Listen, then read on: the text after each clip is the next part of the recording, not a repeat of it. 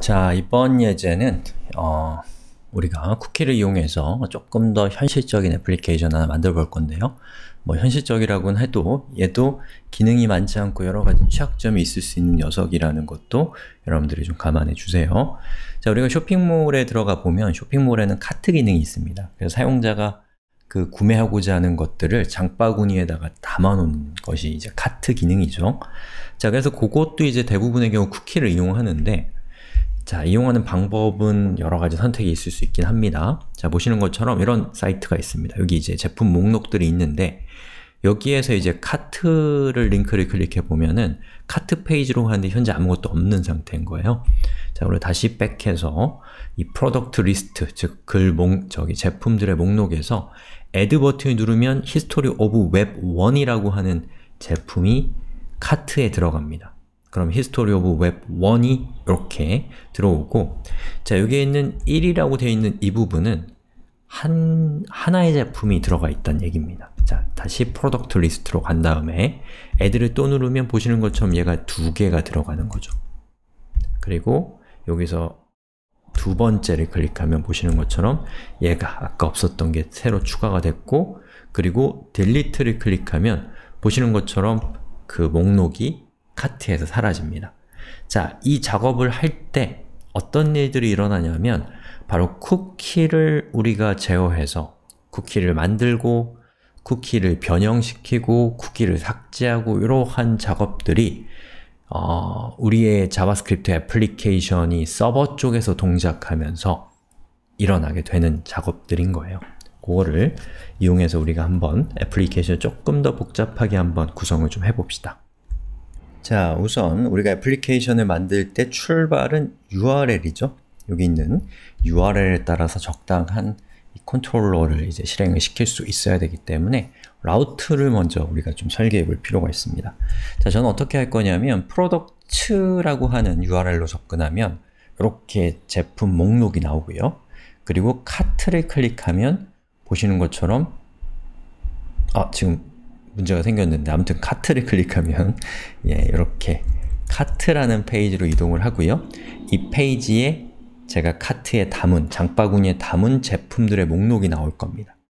그리고 제가 여기 있는 add 버튼을 클릭하면 여기 있는 이 제품의 고유한 식별자 번호, 예를 들면 제가 1번이라고 하면 카트 슬래시 1로 접속하면 그러면 이제 1번 제품을 장바구니에 담겠다라는 요청이 되면서 쿠키가 구워지고 그리고 카트 페이지로 이동을 할 거예요. 대충 아시겠어요? 예. 자 그러면 우선 여기에다가 routing을 먼저 처리를 해볼게요. 자, app.get 그리고 어, product function 자, 이렇게 한 다음에 request, response 이렇게 받죠? 음. 그리고 우선은 response에 send를 해서 제가 product라고 하는 내용이 출력되도록 이렇게 했습니다. 그럼 이렇게 나오죠. 자, 그리고 제가 여러분들에게 쿠키라고 하는 관점에 집중하실 수 있도록 어, 템플릿이나 또는 데이터베이스나 이런 것들은 다 배제를 할 겁니다.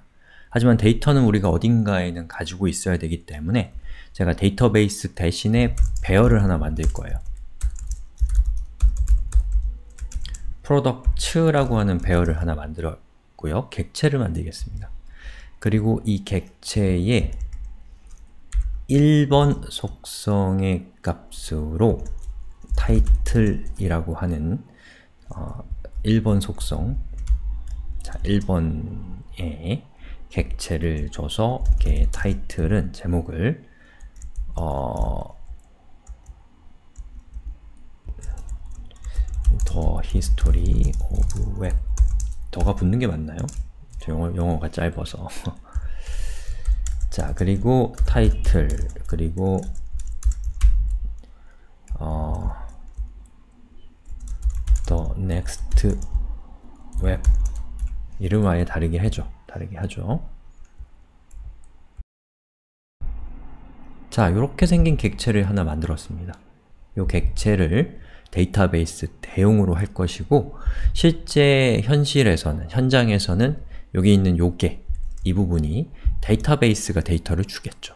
예, 근데 그렇게 우리가 할 필요가 없어요. 우리는 또 여러 가지의 데이터베이스를 다루기 때문에 누구 편을 들기는 또 애매하단 말이에요. 자, 그래서 여기 있는 이 product라고 하는 것을 이용해서 우리가 화면에다가 이 product라고 하는 이 부분에 제품 목록을 표현하는 것부터 해봐야겠죠. 자, 그걸 하기 위해서는 자, 여기 있는 product라고 하는 저 객체에 있는 값들을 하나하나 순회해서 그 값을 꺼내야 되거든요. 자, 그때 사용하는 것이 포인문인 거예요. 포인문인데 자, 이 포인문의 괄호 안에는 in이 들어가고 in 뒤에는 우리가 순회하고 싶은, 이터레이션 하고 싶은 객체가 들어갑니다. 그리고 in 앞에는 그 객체가 갖고 있는 property 여기에서는 1번과 2번이 거기에 해당되죠. 그 값들이 이렇게 되는데 요걸 실행을 시키게 되면 여기 있는 포문을 실행을 시키면 자, 여기에 있는 이 포문이 실행되면 이 포문은 product라고 하는 요 객체에 담겨있는 이 값들을 하나씩 하나씩 꺼내서 중괄호에 넣어줍니다. 즉, 이 product가 가지고 있는 이 값들, 지금 얘는 두 개죠. 이 값들만큼 중괄호에 있는 내용이 실행되는데 중괄호가 실행될 때마다 name의 값으로 그 객체의 property 명이 name의 값으로 할당되는 그런 자바스크립트의 반복문이죠. 자, 그래서 저는 뭘 할 수 있냐면 products 아이고야 products의 대괄호 name을 통해서 어, 요 객체에 담겨 있는 값들 하나하나를 꺼내올 수가 있습니다. 잘 꺼내왔는지를 확인하기 위해서 콘솔 로그로 한번 확인해 보겠습니다. 자, 이렇게 하고 실행을 시켜 보니까 오류가 있었어요. 뭐냐면 요거랑 요거랑 달랐죠? 여러분 알고 계셨죠? 자, 이렇게 한 다음에 요거를 제가 reload를 해볼게요. 이렇게 reload를 해보면 어, 다시요. 에러가 나오네요. 아직도 에러가 있네요. products products products 자, 제가 너무 덤벙거렸군요. 자, 실행을 시켜보면 음, 여기에 이렇게 보면은 이 부분이 이제 실행된 결과거든요. 자, 여기 보시는 것처럼 반복문이, 포문이 돌면서 여기 있는 값들 하나하나를 꺼낸 것이죠. 자, 그러면 저는 여기에다가 타이틀이라고 하는 걸 통해서 이 값들을, 값들의 그 이 타이틀 객체에 있는 이것들을 가져올 수가 있습니다. 자, 한번 또 실행을 시켜볼까요? 실행시키고 다시 돌아가 보면 자, 보시는 것처럼 이렇게 제목만 깔끔하게 가져올 수가 있었죠. 자, 그럼 이러한 특성을 이용해서 저는 웹페이지를 하나 만들 건데요. 자, 우선 내부적으로 output이라고 하는 문자를 하나 만들고 저 문자에다가 더해줄 겁니다. out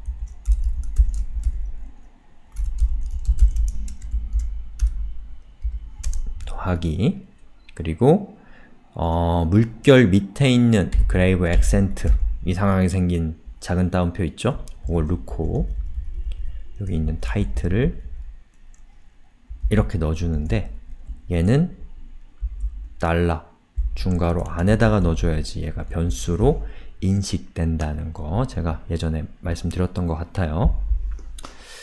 자, 그 다음에 이제 이걸 글 목록으로 할 거기 때문에 저는 여기다가 li를 붙이고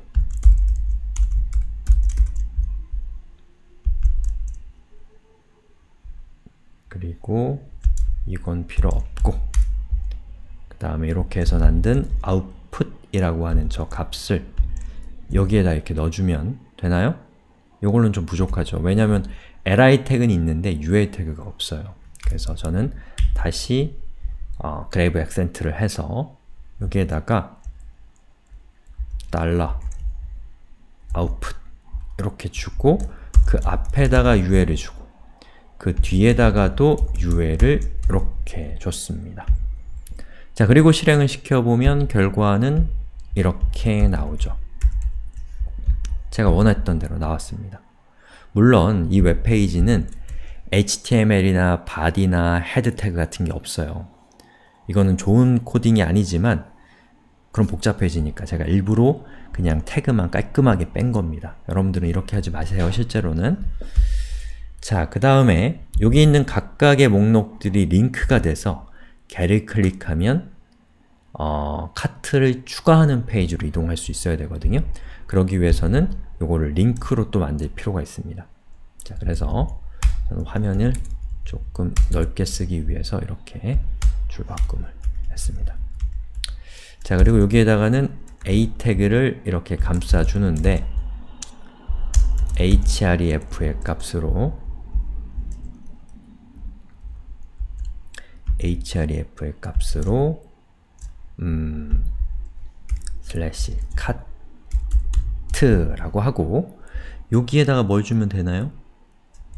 뭘 해야 되냐면 얘 같은 경우는 여기 있는 이 객체의 property명이 1이니까 저는 요게 1이었으면 좋겠어요. 클릭했을 때 카트 슬래시 1로 가고 얘 같은 경우는 카트 슬래시 2로 갔으면 좋겠거든요.